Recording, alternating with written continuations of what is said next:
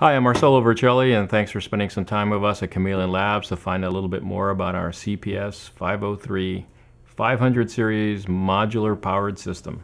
In a nutshell, um, we all like to have a specific type of 500 series module that does one thing or another, but not every time do you want to be uh, using an 8 rack solution to lug around that one module that just makes things happen for you. So what we decided to do is to develop a pretty unique modular system that allows you to use single 500 series modules um, in a way and manner which is appropriate for you. Uh, so how it works is quite easy. The, the unit is designed as a half rack space unit. So it's a 1RU, but it's actually half rack. Um, it comes with a uh, two versions. One's powered and one's a slave. And we'll, I'll explain how that works very quickly. Uh, so here's the outboard power unit. Uh, carries the plus minus 16 and plus 48 voltage rails. Simple's um, 7 pin, or sorry, 5 pin XLR connector. Plug it in the back, and now you have the power for a single rack space unit. Uh, if you want to add uh, another unit, so say that you want to run two, it's quite simple. Let's uh, put them together, we have a simple accessory that binds or uh, locks both of the units together.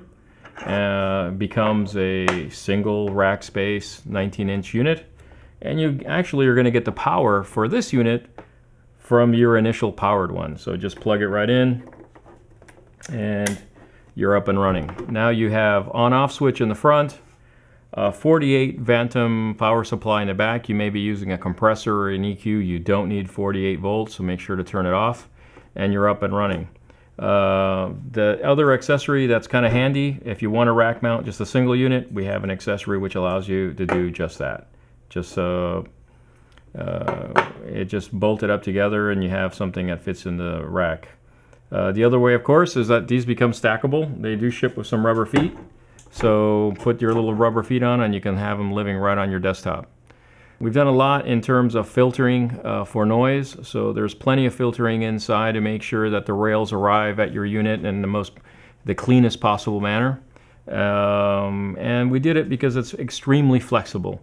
You can easily uh, daisy chain six units using a single power supply and uh, you know by not by having a slave it makes it a little bit more economical because you don't always have to be buying the, the power supply itself. Well um, if you have any questions be sure to get on the website. And thanks for spending some time with us today. And talk to you real soon